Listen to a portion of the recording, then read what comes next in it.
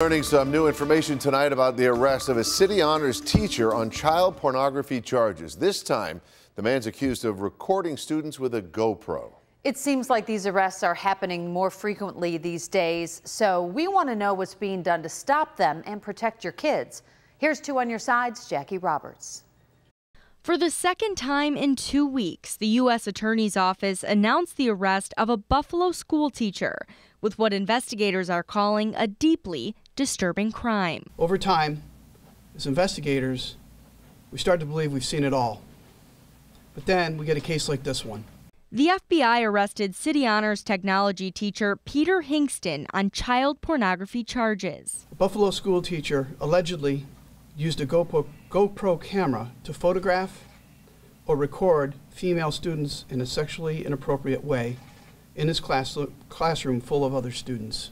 Investigators say when they got a hold of the GoPro, they found several videos of the teacher exposing himself. When you send your kids to school for eight hours a day, you are under the belief that when you put them on the bus and they go to school that they are being protected by individuals who are their teachers in those classrooms. You don't expect a teacher to engage in the conduct of which Mr. Hingston is accused of doing. Authorities say Hingston was calculated and tried to hide what he was doing but it was multiple middle school students who reported him for his unusual behavior. I commend them for their bravery in coming forward and making known these allegations, and their actions uh, have protected uh, other students and future students from uh, suffering these sort of abuses. Kennedy also commends the district for contacting law enforcement and immediately putting the teacher on administrative leave.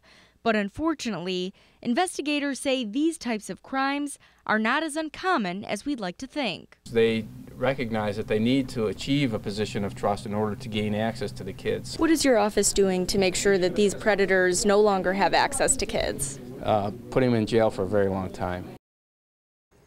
If convicted, Hingston faces up to 40 years in prison.